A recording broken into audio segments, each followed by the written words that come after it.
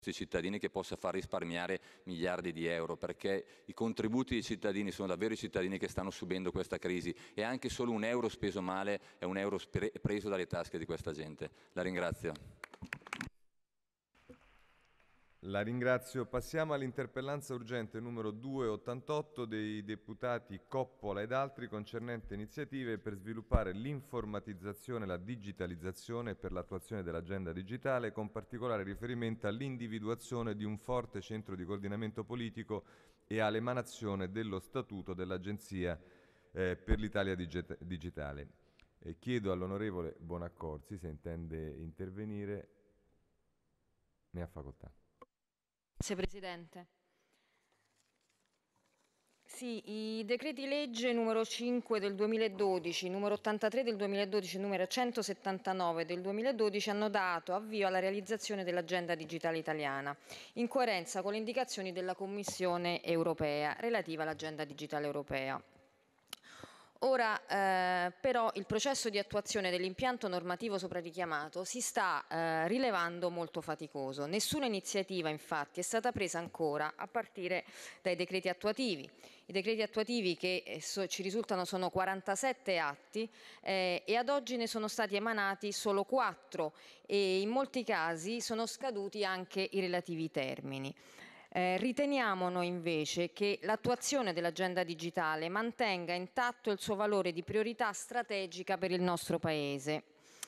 Um, il commissario europeo Nelly Cruz, eh, commissario europeo per l'agenda digitale, parla eh, e lavora ad un mercato unico digitale e ci dice, ce l'ha ricordato qualche giorno fa, che l'Europa non può più aspettare, che l'Europa è più lenta rispetto al resto del mondo. Noi crediamo che neanche l'Italia, neanche l'Italia possa aspettare. Infatti le rilevazioni di numerose istituzioni internazionali confermano il potenziale impatto economico dello sviluppo delle misure previste dall'agenda digitale.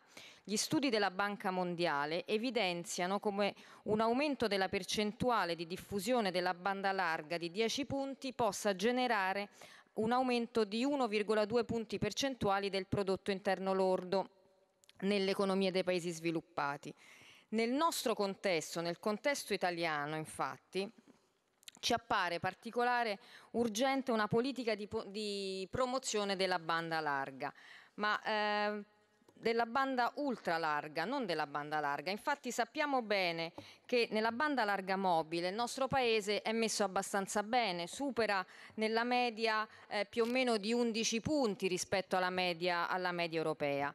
Nella banda larga di base, quella, eh, quella di 2 mega, arriviamo quasi a una copertura del 100%, siamo al 95-96% di copertura del territorio nazionale, mentre eh, tant'è vero che anche eh, gli ultimi bandi regionali che sono stati emanati qualche settimana fa, quelli di Lazio, Marche e Liguria, eh, sono, eh, eh, parlano comunque, prevedono una, una, i lavori per, eh, per, la banda larga di 2 mega. Noi invece parliamo e poniamo l'attenzione, richiamiamo l'attenzione del governo sullo sviluppo della banda ultra larga, quella da, che arriva ai 30 mega. Il, um, il direttore del Dipartimento delle Comunicazioni, dottor Sambuco, qualche giorno fa ehm, in un'intervista eh, ci parlava appunto di una copertura di, mh, della banda larga 2 mega eh, per la totalità del territorio nazionale alla fine del 2014. Eh, su questo però appunto eh, riteniamo che si debba concentrare l'attenzione la, sullo sviluppo della banda ultralarga. Banda ultralarga che però deve avere a fianco la realizzazione anche delle reti in fibra ottica e dei sistemi di trasmissione wireless, a partire dal sistema che eh, appare ovviamente oggi più promettente, quello dell'LTE.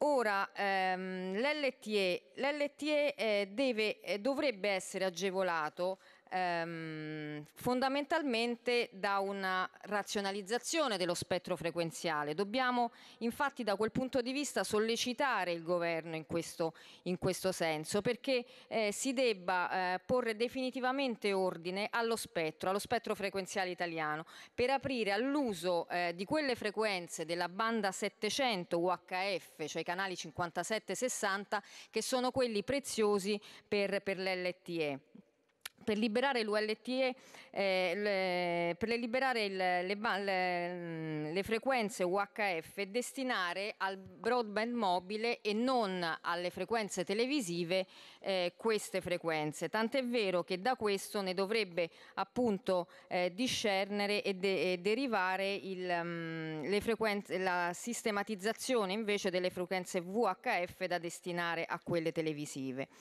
Ora, da questo ne consegue anche la preparazione eh, della partecipazione, la buona partecipazione accurata alla conferenza mondiale dell'Agenzia internazionale del 2015, quella che pianifica le politiche future dello spettro, sempre in armonizzazione appunto con le politiche europee. Altrimenti ci ritroveremo per l'ennesima volta come il paese che non è credibile rispetto agli impegni internazionali che vengono presi sulle politiche, di, eh, sulle politiche del, mm, future del, dello spettro internazionale. Ehm, riteniamo poi anche fondamentale la promozione dei sistemi wireless che richiede un ripensamento della disciplina legislativa in materia di tutto quello che è il sistema wireless. La soppressione fondamentalmente per gli esercizi pubblici e i circoli privati dell'obbligo di licenza da parte della Questura per l'installazione di zone wifi e dell'obbligo di monitoraggio dell'accesso alla rete gli obblighi che come sappiamo sono, erano previsti nel decreto legge numero 144 del 2005, cioè il cosiddetto decreto Pisano e soppressi con il decreto legge numero 225 del 2010, ma che non sembra aver prodotto in termini di diffusione di tale tecnologia i risultati sperati e soprattutto i risultati comparati con i risultati che si sono avuti nel resto del mondo. D'altra parte l'ampia diffusione del wifi libero è un valore aggiunto per tante, tanti settori strategici del nostro Paese, a cominciare da quello dell'offerta turistica ovviamente. Quindi chiediamo eh, davvero che si attuino tutte le, eh, tutte le mh, mm, misure necessarie a far sì che eh, diventi, eh, diventi eh, fondamentale e, e operativa la diffusione del wifi libero. Mm, inoltre eh, un altro aspetto dell'agenda digitale suscettibile di notevoli sviluppi eh, è rappresentato da, eh, dalla messa a disposizione da parte dell'amministrazione pubblica pubbliche dei propri dati in formato aperto e del loro riutilizzo, sviluppando le misure già previste dall'articolo 9 del decreto legge del, eh, 179 del 2012. In particolare, anche qui è di fondamentale importanza prevedere che gli stessi sistemi informativi che elaborano i dati all'interno delle pubbliche amministrazioni vengano modificati per aggiungere la funzionalità di esportazione automatica su Internet, in modo da, evi da evitare che l'obbligo alla trasparenza dei dati in formato aperto si trasformi in un enorme sovraccarico per i dipendenti della pubblica amministrazione. Ad oggi infatti assistiamo a banche dati nel nostro Paese che non si parlano, a complicatissime procedure informatiche e a principi di open source che sono oggettivamente sconosciuti.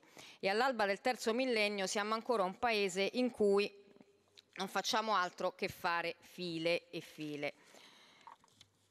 Quindi per tutte queste considerazioni chiediamo quali siano le iniziative urgenti del Governo per assicurare una più rapida attuazione dell'agenda digitale a partire dall'emanazione dello Statuto dell'Agenzia per l'Italia digitale e soprattutto per la sua definitiva operatività e quali siano i motivi a parere del Governo per cui nonostante da molti anni le forze politiche siano tutte concordi nell'affermare che l'informatizzazione e la digitalizzazione siano di fondamentale importanza per il nostro Paese. Questo abbia accumulato però un enorme ritardo rispetto agli altri Paesi europei.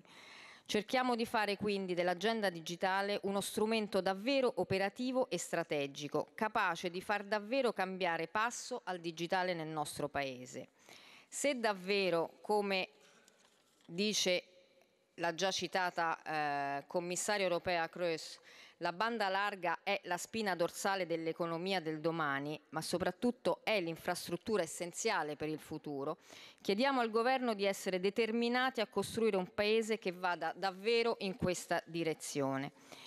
E infine, se il Governo non intenda individuare a fronte dell'organismo tecnico dell'Agenzia un forte centro di coordinamento politico per l'attuazione dell'agenda digitale, superando il coordinamento debole rappresentato dalla cabina di regia. E se non si ritenga che in considerazione del carattere strategico e trasversale rispetto alla competenze dei singoli ministeri dell'agenda digitale tale centro di coordinamento debba essere individuato in apposite strutture della Presidenza del Consiglio dei Ministri. Grazie. La ringrazio. È il sottosegretario alla Presidenza del Consiglio dei Ministri Legnini, Giovanni Legnini ha facoltà di rispondere. Grazie Presidente. In relazione all'atto di sindacato ispettivo presentato dall'onorevole Coppoli ed esposto dall'onorevole Bonaccorsi, concernente tra l'altro le urgenti iniziative per la rapida attuazione dell'agenda digitale, eh, rispondo quanto segue. Già con il decreto legge numero 5 del 2012 era stata istituita, come sappiamo, una cabina di regia per lo sviluppo dei servizi digitali innovativi per potenziare l'offerta di connettività a larga banda, per incentivare cittadini e imprese all'utilizzo di servizi digitali e per promuovere presso le industrie italiane lo sviluppo di prodotti e servizi innovativi. Successivamente, per la realizzazione degli obiettivi dell'Agenda digitale italiana, con il decreto crescita numero 83 del 2012 è stata istituita l'Agenzia per l'Italia digitale che esercita le sue funzioni